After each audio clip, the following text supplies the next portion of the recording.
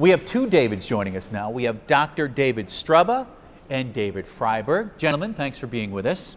And congratulations to both of you. We understand that your respective teams won first and second place in the materials hackathon that took place over the past few days. But before we get into that, tell us a little bit more about exactly what a hackathon is, David? So the hackathon is a 24-hour programming contest in which the participants make cross-disciplinary programs that apply specifically to materials science and materials science related fields such as education.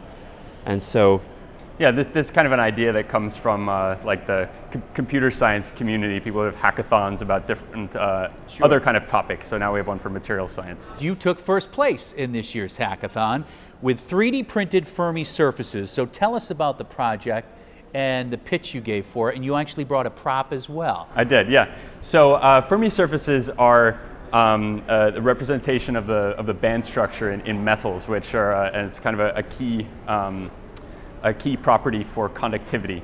Um, and so it's a, a, 3D surface which you can try to visualize. You can look at a picture on a computer. We thought um, it would be cool to have an actual tangible model too. And so this is the Fermi surface of lead the, that we printed out coming from a first principles calculation. Well, it was good enough for first place. Very good. Now, David, your team took second place.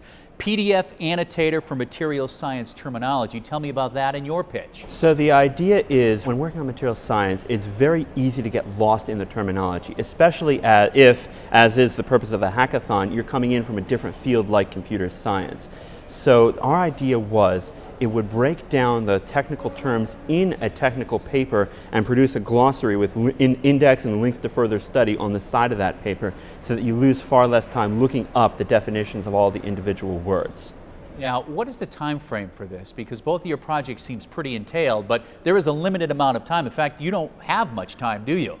We have a grand total of 22 hours between when the first talks, when the final talks end and when the judging begins. 24 hours total, but that includes obviously the introduction speech, introductory speeches by the, our hosts. Every minute counts. And David, what, what's that experience like when you're yeah, really so working under the clock? Right, so you have to be really efficient with your time. Uh, make sure that you have a, a, project that's actually commensurate with the time available, and um, and try to make sure that as much as possible you can you know find uh, elements that have already been made you know for other purposes, and then just bring these together to accomplish your project. Well, you certainly did. Our first and second place winners from the hackathon, David and David. Congratulations, and thanks for being with us. Thank you for having us.